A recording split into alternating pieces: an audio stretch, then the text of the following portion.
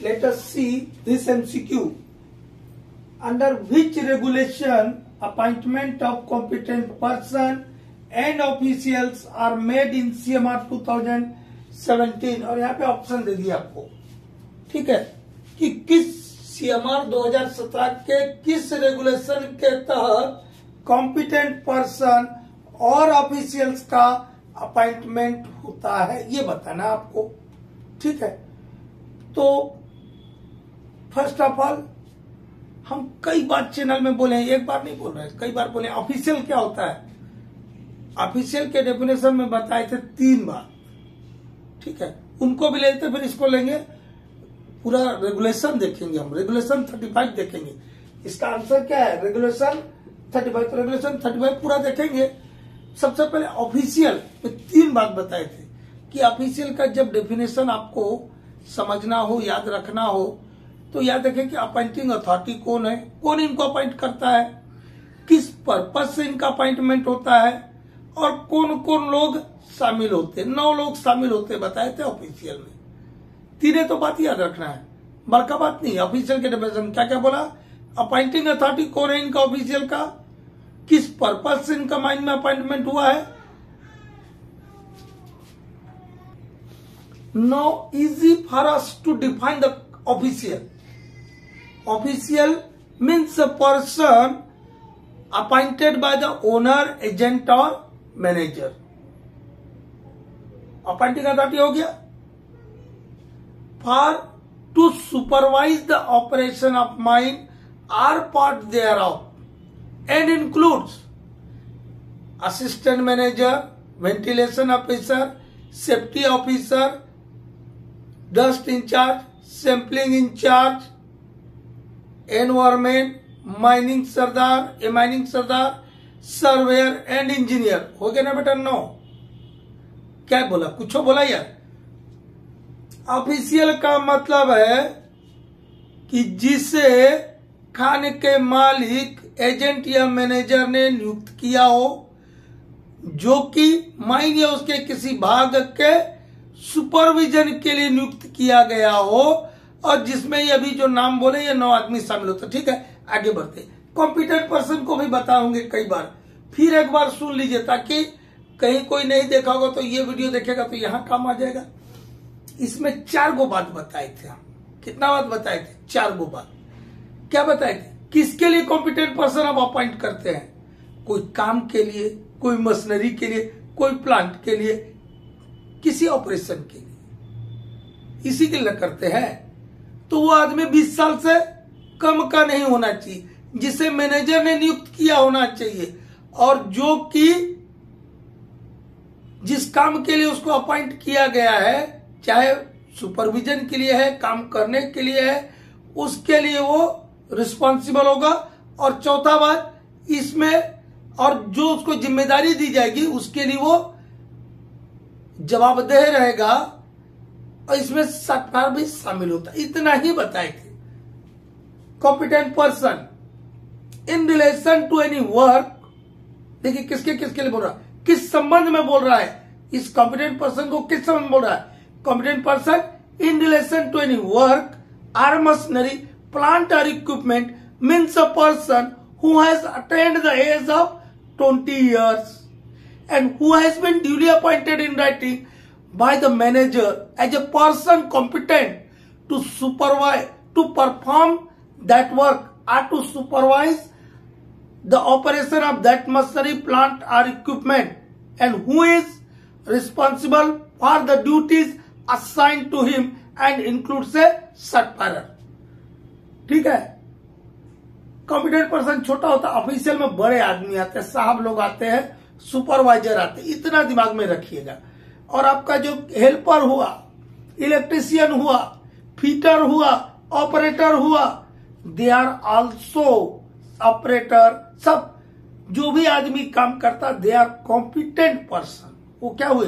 Competent person आपका mining सरदार overman official भी है but he is also competent person but he is also competent person लेकिन senior official में mining सरदार नहीं आता है। ठीक है सीनियर ऑफिशियल कहीं वर्ड आ गया, उसमें माइनिंग सरदार नहीं आता। उसमें मैनेजर से नीचे और सरदार से ऊपर के जो भी होंगे मतलब मैनेजर और सरदार के बीच के जितने भी पर्सन होंगे दे आर सीनियर ऑफिसियल्स ठीक है, अब उसको बाद में देखेंगे। तो appointment of competent appointment of official and competent person किस रेगुलेशन में दिया है? इन विच रेगुलेशन रेगुलेशन 35 में दिया पाँच को बात बोला है। क्या बोला है? पाँच को बात बोला। मेरे टाइम पे इस रेगुलेशन का नंबर हुआ करता था 36 ठीक है? अभी हो गया है 35 2017 वाले सीएमआर में। पाँच को बात बोला है। कितना बात बोला है? पाँच। पहला बात बताने के पहले हमें बताए। अभी जो हम डेफिनेशन कहे बताए थे आपको कि चाहे आपका कॉम्पिटेंट पर्सन हो, चाहे आपका ऑफिशियल हो, इनका सुपरविजन से संबंध है। है ना है? है कि नहीं? तो हम जो भी ऑफिशियल्स को अपॉइंटमेंट करते हैं या competent performing of the work को छोड़ दिया जाए तो काहे काहे के लिए करते हैं? छोड़ दीजिए सबको। सरदार और मैंने को ले लीजिए। आप लोग उसी का एग्ज़ाम में बैठ रहे हैं। क्या काम करेंगे आप? माइंस में जाएँगे तो? इंस्पेक्शन करेंगे अपने शिफ्ट में, यदि शिफ्ट में है तो। माइन का इंस्पेक्शन करेंगे। और यदि आपके फोरमैन्स है तो वो मशीन का इंस्पेक्शन करेंगे। इंजीनियर इंस्पेक्शन मशीनरी का इंस्पेक्शन करेंगे। करेंगे कि नहीं करेंगे? जो भी ऑपरेशन हो रहा है माइन में उसका सुपरविजन करेंगे थॉरो सुपरविजन करेंगे। करते हैं, यही ना काम के लिए ऑफिसर्स को रखते हैं जी। इसके अलावा और क्या करते हैं? मशीन आपका सावेल है पंप है सीएचपी है क्रशर है, ये सब मशीनरी है डंपर है, सावेल है ऑक्सिलरी फ़ैन है बूस्टर फ़ैन है मैकेनिकल वेंटिलेटर है मेन मैकेनिक ये सबको इंस्टॉलेशन करना भी ना पड़ेगा, तब नहीं चलेगा क्या ऐसा चल लग जाएगा। इंस्टॉलेशन करना होगा। उनको ऑपरेशन मतलब रनिंग करना है, उनका मेंटेनेंस इसके लिए भी आपको क्या रखना होगा? ऑफिसियल्स या कॉम्पिटेंट पर्सन रखना ये काम के लिए अपॉइंट करता है। ठीक है? तो आपका जो पहला सब रेगुलेशन है, जिसके तहत सब regulation one of thirty five के तहत ऑफिशियल और कॉम्पिटेंट पर्सन का अपॉइंटमेंट होता है। ठीक है? उसमें क्या बोला है?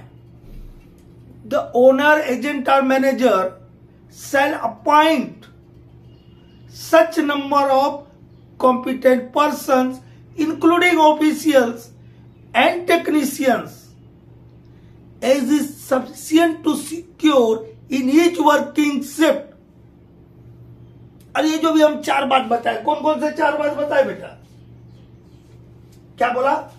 कुछ नहीं बोला यार, बड़ा सिंपल सा भाषा में बोले हैं। देखिए, सुनिएगा वर्ड को ध्यान रखिएगा, हिंदी में बोल दूँगा। द ओनर एजेंट और मैनेजर सेल अपॉइंट मतलब ओनर एजेंट और मैनेजर अपॉइंट करेंगे। Such number of competent person including officials and technicians उतने नंबर में कॉम्पिटेंट पर्सन और ऑफिशियल्स को अपॉइंट करेंगे। एज इज़ सफिशियंट अंग्रेज़ी बुझो बेटा। As is sufficient to secure in each working shift जो कि प्रत्येक वर्किंग शिफ्ट में निम्नलिखित को क्या करने के लिए सिक्योर करने के लिए ज़रूरी होंगे।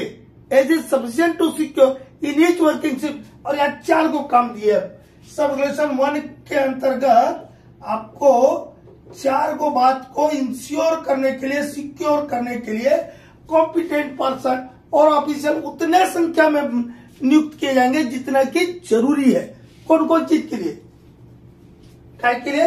Inspection of the mine inspection of the mine और पार्ट देयर ऑफ़ ऐसा लिखा हुआ सिर्फ़ हम माइंड लिख दे रहे या ये भी लिखा हुआ इंस्पेक्शन ऑफ़ द माइंड और part thereof and equipment thereof and equipment thereof और उस माइंड में जो भी इक्विपमेंट है, उनके इंस्पेक्शन करने के लिए माइन या उसके किसी भाग का इंस्पेक्शन करने के लिए उतने नंबर में कॉम्पिटेंट पर्सन ऑफिशियल्स और टेक्नीशियंस को ओनर एजेंट और मैनेजर अपॉइंट करेंगे जितने की ज़रूरी है। वो स्टार्टिंग बोला था ओनर एजेंट और manager shall appoint such number of competent person including officials and technicians, as is sufficient to secure in each working safe to inspect the mine or part thereof, and equipment thereof. Thorough supervision.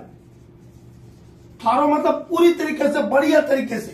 Thorough supervision thorough supervision of all operations in the mind ठीक है? Thorough supervision of all operations in the mind third क्या बताया था बेटा? Running installation सबसे पहले installation करेंगे जब इंस्टॉलेशन रनिंग रनिंग मतलब मशीन चलाना operation installation running and maintenance maintenance of machinery MC लिख दिया मशीनरी और एक और बात है, चार बात के लिए बोले थे ना तो तीन तो लिख दिया। अब शिफ्ट में है अब शिफ्ट का इंस्पेक्शन कर रहे हैं। ये बाकी सभी काम, चाहे वो माइनिंग साइड का हो एनएम साइड का हो इलेक्ट्रिकल इलेक्ट्रिकल साइड का हो मैकेनिकल साइड का हो, ठीक है? ये सब करेंगे शिफ्ट इसके अलावा आप देखे होंगे, सात दिन में आइसोलेशन स्टाफिंग का इंस्पेक्शन करना है, चौदह दिन में वेंटिलेशन का करना है हालेज रोड ट्रेवलिंग रोड का सात दिन में करना है आउटलेट का सात दिन में करना है। बताए थे ना कहीं? वो भी तो है। क्रिच कैंटीन रखना है आपको। और भी दूसरे स्टेचुटरी प्रोविजंस का पालन करना है। करना है ना? तो उनको फॉलो करने के लिए, उनको लागू करने के लिए भी आपको कॉम्पिटेंट पर्सन और ऑफिशियल्स रखना ना होगा। रखना होगा कि न तो काहे के लिए? काहे के लिए? Enforcement of the requirements of the act and rules are and regulations made there under अब इसको यदि इतना लंबा चौड़ा नहीं लिखते जो बच्चा लोग डिग्री डिप्लोमा वाले होंगे जो अभी रिक्रूटमेंट वाले के तो छोटा सुन के भी काम चल जाएगा। जो डिग्री डिप्लोमा लिख देना for enforcement of the statutory provision वही बात बोल रहा हूँ। एक्चुअल में क्या बोलता है? Enforcement of the enforcement of the requirements requirements of the act act जब भी लिखे माइंड एक्ट उसका एक चैप्टर रहेगा। Requirement of the enforcement of the requirement of the act rules and rules and rules are regulation are regulation made there under made there under मतलब made made there under मतलब mines act के तहत जो rules और regulations बने हैं mind sect की जो रिक्वायरमेंट है, उसको पूरा करने के लिए माइंडसेट के अधीन जो भी रूल और रेगुलेशन बने हैं, उनको प्रतिपूर्ति हेतु, ठीक है? रेगुलेशन मेड देयर अंडर ठीक है? ये चार पर्पज से हम क्या अपॉइंटमेंट करते हैं? कॉम्पिटेंट पर्सन एंड ऑफिसर्स को किस रेगुलेशन के तहत? Under sub regulation one regulation thirty five of CMR 2017 next अब कहा चलेंगे हम सब रिलेशन नंबर दो के तरफ़. ये समझ आया ना बेटा? आया? तो अब सब रेगुलेशन टू देखते हैं. ये अभी हम क्या देख रहे थे? सब रेगुलेशन वन पाँच सब रेगुलेशन है इसमें. सब रेगुलेशन टू क्या बोलता है बेटा? सब रेगुलेशन टू बोलता है कि आपका जो सेकंड शिफ्ट है सेकंड शिफ्ट को आफ्टरनून शिफ्ट बोलते हैं नाइट शिफ्ट है, वो एक असिस्टेंट कम से कम एक असिस्टेंट मैनेजर के अधीन रहेगा और अन्य केस में एक एक्सपीरियंस ओवरमैन के केस में रहेगा। इसको कौन इंश्योर करेगा बच्चा, इसको इंश्योर करेगा ओनर एजेंट और मैनेजर इसका अरेंजमेंट करेंगे। ठीक है? तो ओनर एजेंट और manager shall arrange that during each afternoon shift and night shift shall be under the general supervision of at least one assistant manager and of overmen in other cases और अन्य cases में मतलब first shift है general shift है। तो उसमें आप जो है ना, और कोई एक्सपीरियंस ओवरमैन ऐसा नहीं कि नए का भर्ती, तुम्हारे जैसा बच्चा लोग गया रोकड़े डाल दिया, बेचारा पगला जाएगा। ठीक है तो जो एक्सपीरियंस ओवरमैन है उसके सुपरविजन में रहेगा, लेकिन सेकंड शिफ्ट और नाइट शिफ्ट में एक असिस्टेंट मैनेजर कम से कम रखना होगा। सेकंड शिफ्ट में एक नाइट शिफ्ट में एक। इतना ही बोला। इसके लिखने की ज़रूरत है। अरे सुनो और याद रखो नहीं यार, क्या बोला हमने? कुछ तो नहीं बोला, इतने ने बोला।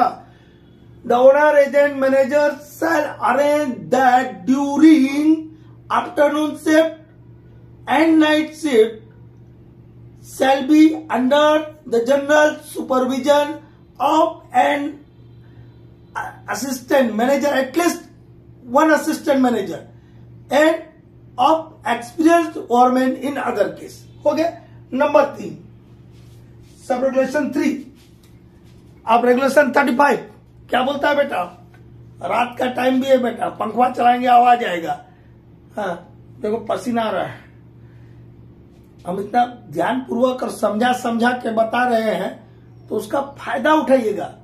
और नहीं उठाना है तो ओकरा हम क्या कर सकते हैं? ठीक थर्ड क्या बोलता है? थर्ड में, इसमें मैनेजर की ज़िम्मेदारी दी थर्ड पॉइंट में किसकी ज़िम्मेदारी दी है? मैनेजर की। क्या मैनेजर की ज़िम्मेदारी है?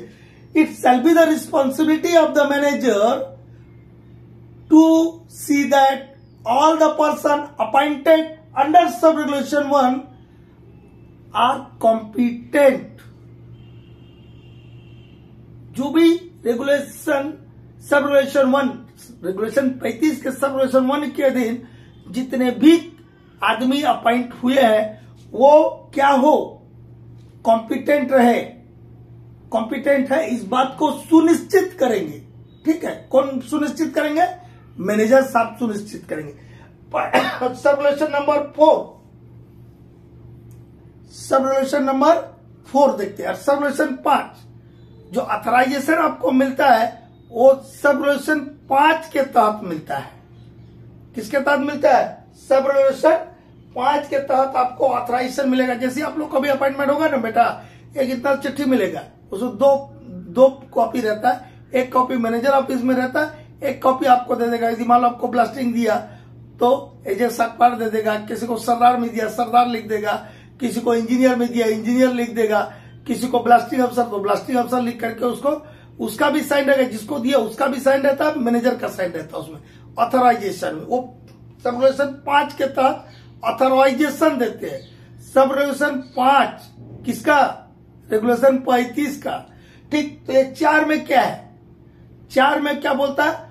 All copies of appointment under sub regulation one shall be maintain in a bound PACS book वो जो बोलता है ना, दो, एक इतना बड़का बुक रहता है, उसी को बाउंड पुश बैग बोल रहा है। बाउंड पैक्स बुक बीपीबी एक मैनेजर वहीं रख लेता है और एक उसमें फाड़ के जिसको ऑथराइज किया, उसको देता है। तो वही बोल रहा हूँ, चार में, कि all copies of appointment made under sub regulation one shall be maintained in bond peg book and a copy of the list of a competent person shall be maintained there. इतना ही बोलता और ये पांचवा में क्या बोलता कुछ हो नहीं पे। अपन ये ऑथोराइजेशन के लिए ऑथोराइजेशन कि हर मैनेजर जब चार्ज लेगा तो वो इस बात को देखेगा कि जो ऑलरेडी आदमी पहले से